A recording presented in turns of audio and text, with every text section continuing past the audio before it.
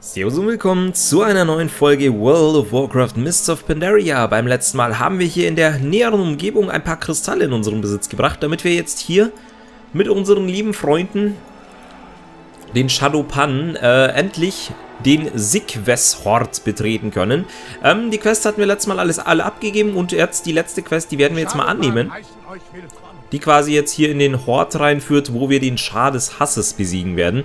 Das Schar des Hasses. Wir werden niemals nachgeben. Das Ende unserer Jagd steht unmittelbar bevor. Wir haben die stärksten Shadowpan versammelt und mit eurer Stärke als Unterstützung werden wir das Schar des Hasses bezwingen und seinen Einfluss auf die Welt ersticken. Wenn wir in den Tunnel eindringen, bleibt in der Nähe und haltet den Hass von eurem Herzen fern. Der bevorstehende Kampf stellt für alle von uns eine Prüfung dar. Was auch immer passieren wird, es ist mir eine Ehre, mit euch gereist zu sein, Lee. Alles klar? Wir bekommen einen, Helm dafür. Crit parieren, ausweichen. Ja, Sieht komisch aus, aber den werden wir natürlich nehmen. Unsere Gemeinschaft. Ich würde sagen, wir starten auch direkt mal. Ja. Alles klar, das sieht doch gut aus. Das sieht doch gut aus. Erinnert euch an eure Ausbildung. Solange ihr dem Hass nicht nachgebt, werdet ihr überleben. Los geht's! Okidoki, dann mal rein da. Erstmal das Tor aufmachen. Mit Hilfe der Kristalle. Wahnsinn, das hat sehr schön geklappt. Ja, und dann geht's mal rein. Wir folgen denen mal. Laufen mal nicht zu weit vor. Oh, die sind schnell. Die sind sehr, sehr schnell. Jetzt schauen wir mal kurz auf die Karte. Einfach ganz durchlaufen. Oh, da vorne ist er. Okay.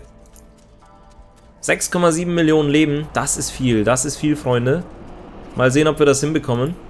Ich denke aber schon. Ziel ist zu nah? What the fuck? Eigentlich ja überhaupt nicht. Ich habe versucht schon von hier hinten an der Treppe loszudüsen. Aber gut, greifen wir ihn mal an. Schaden ist extrem gut. Äh oh, das ist gefährlich.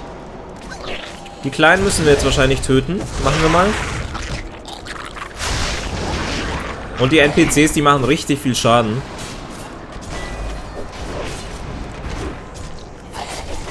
Ist das hier ein Massenangriff oder äh, irgendwie habe ich das gerade ein bisschen verplant, glaube ich. So, die kleinen Viecher töten und dann wieder auf den großen Boss drauf. Rudiment des Hasses, aha. So, aber hier schön alles raushauen, was wir an, an Zeugs haben. Aber wir fressen gerade extremen Schaden, das ist nicht so cool. Lassen wir mal wieder irgendjemand anderen tanken. Aber vielleicht könnte ich mal so D&D machen, genau. Warum greift er uns an? Hauen wir uns mal so einen Lebensgeist hier rein. Sollen uns mal ein bisschen heilen. Äh, ja.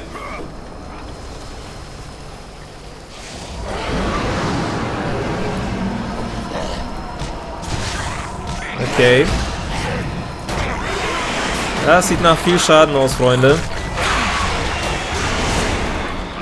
Wobei wir auch geheilt werden. Von dem lieben Bann hier hinten, von dem werden wir geheilt.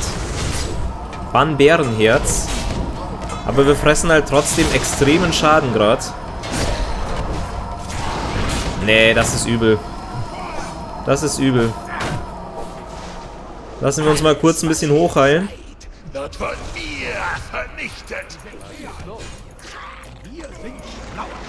Warten wir mal kurz, bis wir wieder ein bisschen geheilt sind. Uiuiui, da hätte ich rauslaufen können. Das ist doof. Das ist doof. Wir versuchen es jetzt mit hinrichten.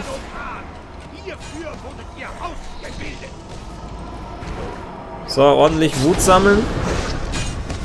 Und dann hinrichten. Und wenn wir jetzt sterben, haben wir ein Problem, Freunde.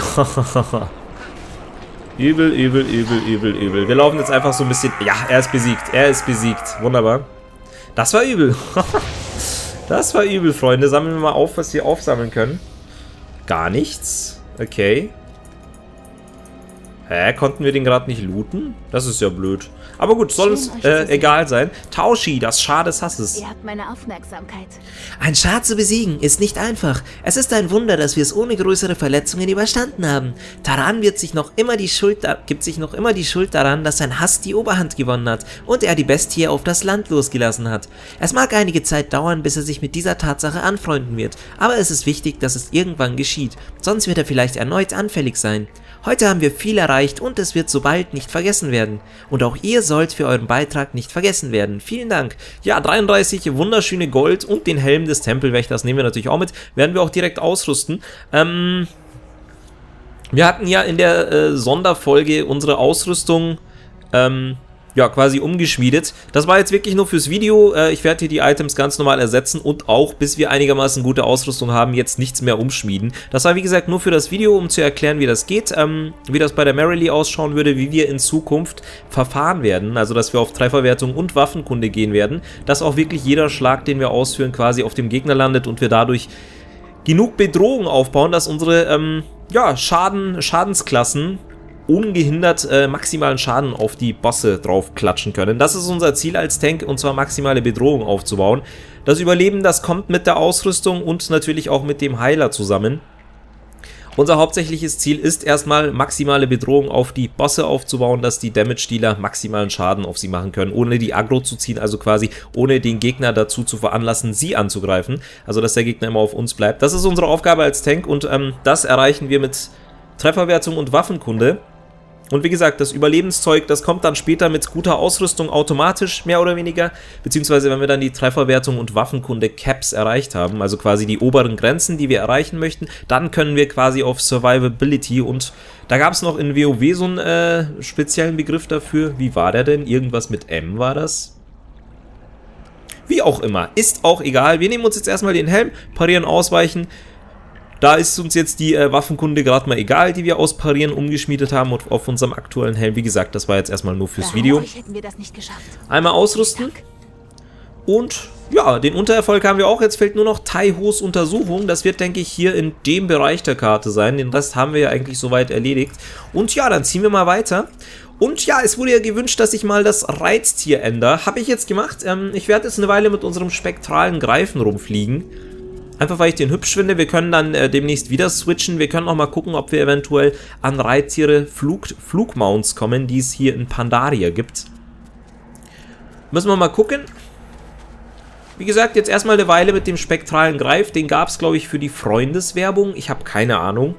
Müsste es aber sein. Freundeswerbung oder Rolle der Auferstehung. Irgendwas in die Richtung. Ich glaube, es war für, für eine neue Freundeswerbung. Also, dass jemand einen neuen Account erstellt hat und quasi mich als Werbenden angegeben hat. Auf jeden Fall ein sehr hübsches äh, Reittier und deswegen werde ich damit mal eine Weile rumfliegen. So, da vorne haben wir einen Flugmount, äh, Flugmount sage ich schon, einen Flugmeister. So, einmal aktiviert. Dann haben wir hier eine Quest zum Abgeben. Die geben wir mal zuerst ab und dann werden wir mal die restlichen allesamt annehmen. Hier unten bei Verisa Windläufer. Der Donner ruft. Wir müssen uns beeilen, Marilee. Die anderen sind vorgegangen, aber ich werde euch alles auf dem Flug erzählen. Okay, mounten wir uns mal ab. Okay. Ich bin aber eher wegen der Horde besorgt. Sprechen wir während des Fluges. Alles klar, wir werden jetzt wahrscheinlich irgendwo hinfliegen. Nehmen wir mal die ja. Quest an. Der Sturm braut sich zusammen. Wir haben keine Zeit zu verlieren, Marilee. Jeder Moment, den wir hier vertrödeln, gibt den Sonnenherrschern weitere Teile der Insel preis. Lady Jaina Prachtmeer wartet auf uns. Wir sollten sie nicht noch länger warten lassen. Sprecht mit mir, wenn ihr bereit seid, abzureisen. Ich werde euch selbst hinbringen. Alles klar? Wir bekommen einen Signalgeber der Kirin Tor. Bringt euch zu den Kirin Tor auf der Insel des Donners zurück. Dieser Signalgeber funktioniert nur auf der Insel des Donners oder im Thron des Donners. Alles klar? Lebt wohl. Dann sprechen wir mal kurz mit dir. Ich bin bereit. Oh, vielleicht hätten wir da hinten die anderen Quests auch noch annehmen sollen. Wir fliegen gleich zurück. Er vereinigte die Mogu, unterwarf die anderen Völker Pandarias und errichtete ein Kaiserreich, das Jahrtausende lang bestehen sollte. Okay. Legenden zufolge hatte der Donnerkönig enorme Macht und baute sich eine palastartige Festung. Wir sollten sie bald sehen können. Oh, jetzt bin ich mal gespannt. Das wird sicher hübsch, hübsch aussehen. Übergriff der Sratik. Mhm. Jetzt bin ich mal gespannt, wie dieser Palast aussieht. Oh, okay. Ladebildschirm, Ladebildschirm. Wo kommst du denn her? Ist das hier instanziert oder warum ist hier... Oh! Okay. Was ist das denn? Wer bist du denn? Durchgebranntes Konstrukt der Sonnenhäscher. 92 Grad. 10,5 Millionen Leben. What? Das wird uns wehtun, Freunde. Das wird uns wehtun. Na gut, dann fliegen wir vielleicht doch nicht zurück. Sondern erledigen hier erstmal die ganzen Quests. Scheint ein eigenes Gebiet zu sein. Aber halt wirklich äh, nicht auf der Weltkarte, sondern... Oder doch, Insel des Donners, wo ist denn die? Oh, tatsächlich. Zu was gehört das denn? Was ist denn das hier? Tempel nach Teleport nach Satual. Wo ist Satual? Magie muss kontrolliert werden, bevor sie euch kontrolliert. Unsere Namenspatronin von äh, dem Server, auf dem ich spiele, seht ihr auch hier unten. Da irgendwo steht es da. Ich weiß es nicht, ich äh, mache das ja später beim Enkodieren mit ins Video. So, der Sturm braut sich zusammen. Hinterfragt alles. Ihr kommt gerade rechtzeitig, Marilee. Dieses Land muss von den Kirin-Tor kontrolliert werden, zum Wohl aller. Das wird keine leichte Aufgabe sein. Alles klar? What the fuck? Insel des Donners? Zerstörung Terramos. Der Verrat aus den Reihen der Kirin-Tor. Wie kommen wir Was zurück? ich daraus gelernt habe, Shadowpan-Garnison. ergreife ich die Initiative. Ähm, hm. Wollen wir erstmal hier questen oder wollen wir Tonlong-Steppe? Warte, Hä? Gehört das irgendwie zusammen? Da wird irgendwie keine Levelbegrenzung angezeigt. Ich würde sagen, wir gehen nochmal zurück. Hier oben haben wir ein Portal. Ähm, und erledigen drüben nochmal alle Quests. Wenn wir jetzt nicht ganz woanders landen. Nee, gut, dann sind wir jetzt in der Shadowpan-Garnison. Sehr schön, und da geht's zur Insel des Donners. Alles klar, dann, wie gesagt, hier erstmal die ganzen Quests erledigen, weil wir können hier definitiv einiges annehmen. Dann äh, machen wir die andere Quest einfach später. Kann ich dann eventuell auch ein eigenes Thumbnail für äh, erstellen, wenn wir dann wirklich zwei, drei Folgen dort sein sollten. Seid gegrüßt. Lehrensucher Pau. Verzeihung, Kriegerin, heißt ihr Marilee? Eine Gestalt in einem dunklen Umhang hat mich gebeten, euch das hier zu geben. Es war eine Reisende von hinter den Nebeln, so wie ihr, aber nun habe ich ihr, nun, ich habe ihr nicht getraut. Die Nachricht kommt von einer Taverne an der verhüllten Treppe. Ich gebe euch die Nachricht, aber ihr solltet auf euch Acht geben, wenn ihr euch dort hinaufwagt. Okay, alles klar. Wir dürfen nicht zögern. Natürliches Antiseptum. Die Shadowpan sind selten, elitär und ziemlich teuer in der Ausbildung und daher nur schwer zu ersetzen. Wir können uns nicht leisten, dass auch nur einer von ihnen einer vergifteten Waffe oder einem infizierten Schnitt zum Opfer fällt. Deshalb möchte ich, dass ihr mir etwas besorgt.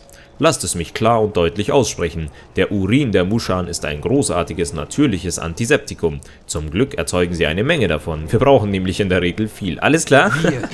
Sehr gut. Ähm, der Feldrüstungsschmied. Die Shadowpan kämpfen, deshalb werden ihre Rüstungen oft zerschnitten, zerkratzt, zerrissen und verbrannt. Meine Aufgabe ist es, sie zu reparieren. Ich bin kein Rüstungsschmied, aber solange das Loch nicht zu groß ist, kann ich ein kaputtes Kettenrüstungsstück reparieren. Am liebsten verwende ich Panzerfragmente von Schildkröten, die in den Feldern im Nordosten leben. Besorgt mir welche, damit ich mehr Shadowpan gerüstet und am Leben erhalten kann. 120 Fragmente, okay. Und ein verbesserter Verband. Ein trockener Verband hat wenig Nutzen, außer dass er die Wunde frei von Ungeziefer hält. In einigen Lagern ist dies das Beste, worauf man hoffen kann, aber nicht in meinem. Ich ziehe es vor, eine Paste aus all den lindernden Kräutern zu mischen, derer ich habhaft werden kann, um diese zwischen den Verbänden aufzutragen. Die wirksamsten Kräuter, die ich finden konnte, sind die Mao-Weiden auf den Feldern im Nordosten. Wenn ihr welche antrefft, bringt sie doch her. Alles klar? Einiges hier oben zu tun, das ist schön. Tai gibt's? Die Motive der Mantis. Kriegerin, ihr könntet uns nützlich sein. Die Shadowpan möchten wissen, weshalb die Mantis so ungestüm angreifen. Wir haben unsere Vermutungen, sind uns allerdings nicht sicher. Außerdem sollen die Mantis nicht herausfinden, dass sie von uns untersucht werden. Und hier kommt ihr ins Spiel. Ich möchte, dass ihr die Mantis von Krives im Norden tötet. Ich werde mich hinter euch im Schatten versteckt halten und ihre Leichname auf Hinweise Die untersuchen. Mauer darf nicht. Und ein Rückschlag für die Mantis. Mit jedem Tag vergrößern die Mantis die Munitionsvorräte, die sie gegen ihre Feinde einsetzen wollen, weiter. Wir können sie nicht aufhalten, ihr und ich, aber ein Rückschlag, aber einen Rückschlag können wir ihnen doch verpassen. Taiho gibt euch etwas Sprengstoff. Ich muss mich bedeckt halten. Wärt ihr so gut? Selbstverständlich machen wir das. Und wollen wir hier noch per Quests Sehe ich auf der Karte nichts mehr. Die Daily Quest hier können wir eigentlich noch annehmen. So sehen wir uns wieder. Oh, da gibt es einige. Dann, dann nehmen wir die natürlich auch alle an. Die Mogo-Bedrohung. Man sollte immer vorbereitet sein. Unsere Späher haben Truppen der Mogo auf Shanse-Dao im Nordwesten entdeckt. Die Insel ist angeblich unbewohnt, deshalb ist ihre Anwesenheit dort beunruhigend. Noch beunruhigender ist die Tatsache, dass sie unheimliche Experimente auf der Insel durchführen. Ich brauche jemand Tüchtiges wie euch, Kriegerin, um die Lage zu prüfen. Die Shanse werden euch vermutlich Probleme bereiten. Wenn dieser Fall eintritt, tötet Alles sie. Gute. Boshafte Waldgeister. Die Finsterwaldgeister von Shanse Dao werden jetzt von den Mugu beherrscht. Diese einst gerissenen Schwindler dienen mittlerweile zur Gänze den Shanse. Sie werden von Tag zu Tag unverschämter rauben und töten, um ihre Meister zufriedenzustellen. Sie müssen eliminiert werden. Seid aber vorsichtig. Sie mögen vielleicht harmlos aussehen, sind jedoch ziemlich brutal. Okay? Eiersuche? Eier. Ja, ihr habt mich richtig verstanden. Ich habe Eier gesagt, doch zum Essen sind sie nicht. Habt ihr schon einmal eine Wolkenschlangen, ein Wolkenschlangenei gesehen? Diese seltenen Eier sehen wie Edelsteine aus und waren einst ihr Gewicht in Gold wert. Auf Shanse Dao im Norden wimmelt es für gewöhnlich nur so vor Wolkenschlangen, aber die Mogu und Geister haben es auf ihre Eier abgesehen. Wir müssen so viele dieser kostbaren Eier retten wie möglich. Ich zähle auf euch, Mary Lee. Alles Gute. Und die letzte Quest, kleine Jungtiere. Eieiei, viel zu tun haben wir hier. Ich habe die grausamen Experimente gesehen, die die Shanse auf ihrer Insel im Nordwesten durchführen. Die Shanse brüten Schlangenjunge aus ihren Eiern aus und halten sie in winzigen, total verdreckten Käfigen. Die grausamsten Wärter hungern sie aus und quälen sie. Wir müssen möglichst viele Jungtiere retten. Ich erteile euch freie Hand, jeden Mogu, der sich euch in den Weg stellt, zu bestrafen. Holy shit, jetzt haben wir aber hier extrem viel zu tun. Wer ist denn er, beziehungsweise sie? Warum sollen wir mit Feili reden? Würdet ihr mich begleiten? Cool, die hilft uns, glaube ich, so ein bisschen. Das ist nice. Dann äh, bedanke ich mich erstmal fürs Zugucken. Jetzt brauche ich mal irgendwas, wo ich hinschauen kann. Ich glaube, hier hinten ist ganz gut. Bedanke ich mich erstmal fürs Zugucken. Wenn euch die Folge gefallen hat, würde ich mich über einen Daumen nach oben freuen. Ansonsten dürft ihr mir natürlich auch gerne einen Daumen nach unten geben. Und über viele Kommentare freue ich mich natürlich auch und würde sagen, wir sehen uns morgen Abend um 18 Uhr wieder. Tschüssi!